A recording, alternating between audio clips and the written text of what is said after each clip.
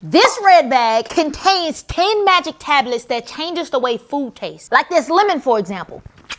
Unbearable. And most sour than them dishes in y'all sink. Or this red wine. Dry it in my cooch cat. These miracle tablets should be able to change that. That's if they work. These taste altering tablets are actually derived from a fruit that exists in nature called the miracle fruit. If we prove that these work and you want to try them out for yourself, of course the link to them is in my bio. As well as my new song, I'm Dying of a Broken Heart. Be sure to check it out. It's on all platforms. The miracle fruit is unlike any fruit that any of us have ever witnessed before. This is what they look like. These are actually compressed and dried pulp of the original fruit. And I know that because the miracle fruit is the only fruit that contains glycoprotein miraculin barely tastes like anything. A little bit like coffee. Just trying to make sure I get it all over my tongue. You have taste receptors up and down, up and down. That's pretty much ate like coochie. There's something special about the molecule miraculin. Since it can fit perfectly into our sweetness receptors, but it's not a sweetness molecule, it just tricks the receptor and activates it in moments where it shouldn't be activated.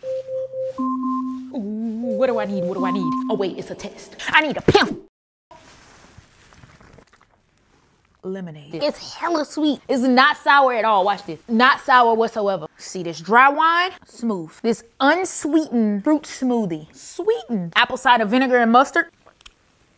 It don't taste good, but it's sweet. I am intrigued. My stomach hurt. Mm, honey mustard. Oh my God.